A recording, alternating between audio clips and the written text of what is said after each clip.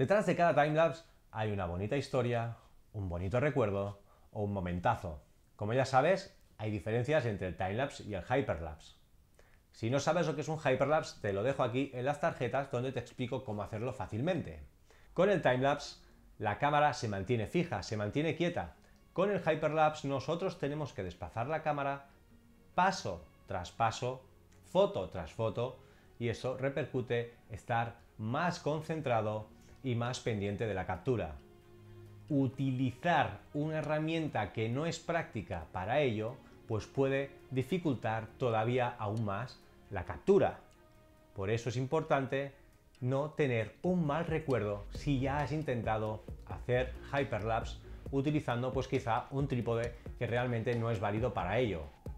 Es importante disponer de una buena herramienta para crear hyperlapse, ya que el proceso lo vas a repetir 100, 200 o 300 veces, o las veces que hagan falta.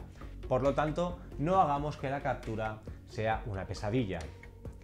Yo últimamente he encontrado una manera más fácil, más ágil de poder hacer hyperlapse y no cargar tampoco tanto peso en mi equipo. Y lo he encontrado utilizando el SlidePod Pro. Hace poco ya publiqué un vídeo explicándote las características principales del producto y de cómo hacer timelapse, que si no lo has visto te lo dejo aquí también en las tarjetas, pero en el vídeo de hoy te voy a explicar cómo hago yo los hyperlapse con el SlidePod Pro y por qué se ha convertido en una herramienta indispensable en mi equipo.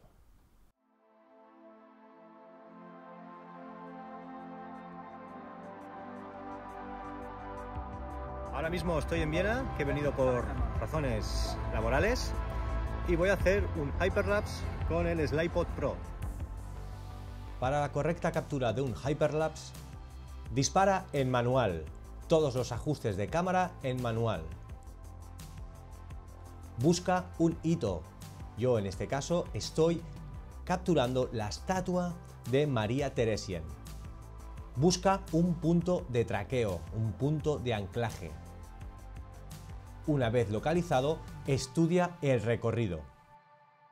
Mi recomendación es que sea fácil de ejecutar, que el recorrido permita capturar todas las fotos sin complicaciones. Y sobre todo, muy importante, que en ningún momento perdamos nuestro punto de anclaje durante toda la captura del hyperlapse. Ya ves lo rápido que voy haciendo el hyperlapse y es la ventaja de utilizar solamente una pata que mantiene la posición y además mantiene la altura. Si tengo que comparar el flujo de trabajo con este monopié en comparación a un trípode, pues obviamente puedo decirte que el SlidePod Pro es una herramienta ideal para poder hacer hyperlapse. Las patas anchas del SlidePod Pro ayudan a que la captura sea también más fácil. Como ya he dicho en anteriores vídeos, cuanto más precisa sea la captura, más fácil será la edición.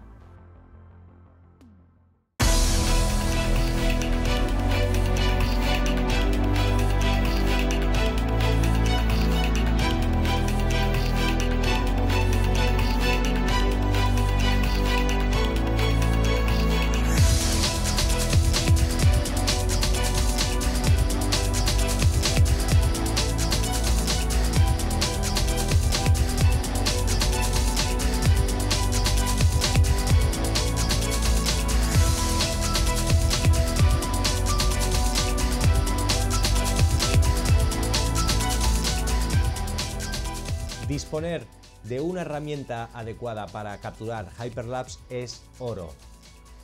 Todos estos hyperlapse que estás viendo a continuación han sido capturados con el SlidePod Pro.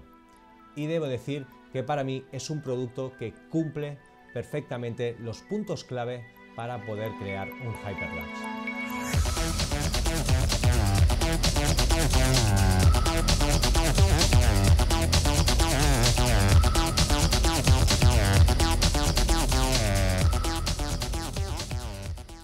Pues ya has visto la facilidad con la que se puede trabajar al hacer hyperlapse usando el SlidePod Pro.